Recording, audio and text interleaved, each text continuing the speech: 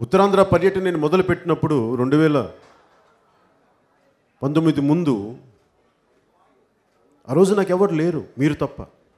ఒకళ్ళు లేరు నా పక్కన. పార్టీ ప్రారంభం అప్పుడు కూడా పార్టీ ప్రారంభం అప్పుడు కూడా నా పెద్ద నాయకులు ఎవరు లేరు.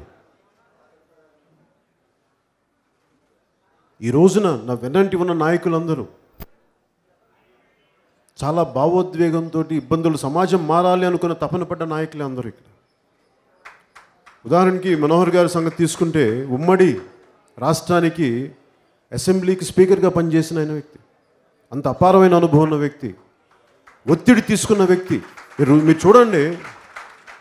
చాలామందికి ఎందుకు మనోహర్ గారికి ఆ స్థానం ఇస్తానని చెప్పడానికి కారణం కూడా చెప్తాను.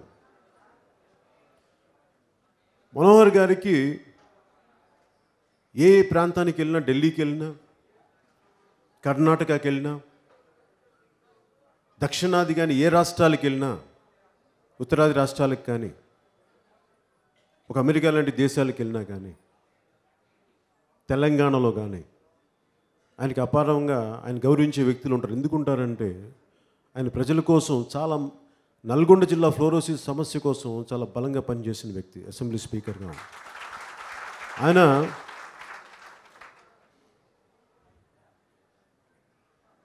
ఈరోజు మన వెన్నంటి నిలబడ్డారంటే ఆయన ఆయన జర్నీని మీకు చెప్పాలి ఆయన ప్రయాణాన్ని. ఉమ్మడి రాష్ట్రం రాష్ట్ర విభజన సమయంలో స్పీకర్గా ఉన్నప్పుడు మీకు తెలుసు రోజు ఒక అసెంబ్లీలో కూర్చొని స్పీకర్గా ఉండి తిట్లు తింటా ఉండాలి. ప్రతిదానికి స్పీకర్ని బాధ్యం చేస్తాను నువ్వు ఇలా చేసావు అందరు తిడుతుంటారు. స్వపక్షం విపక్షాలు అన్నీ కలిపి తిడుతూ ఉంటాయి. ఒకవైపు మా తెలంగాణ నువ్వు ఆపేస్తున్నావు అని చెప్పానే తెలంగాణ నాయకులు ఉంటారు. నువ్వు ఎందుకు మాట్లాడవని చెప్పి ఆంధ్ర నాయకులు ఉంటారు. వీటి మధ్యలో సమన్వయపరుస్తూ ఒక సమతుల్యత కలిగిన వ్యక్తి కాబట్టి అంత హుందాగా బయటకు వచ్చి ఈరోజున అంత గౌరవం సంపాదించారు.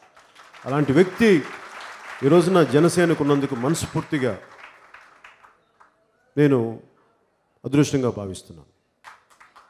అలాగే అంటే నేను ఎందుకు చెప్తున్నాను ఈ పదం అంటే నేను ఎవరిని కూడా సరదాగానో పుట్టిన నేను పెట్టను పై పక్కన. వారి ప్రయాణానికి అనుభవానికి గౌరవించి నేను పెడతాను నా పక్కన. దయచేసి అందరూ అర్థం చేసుకోవాలి.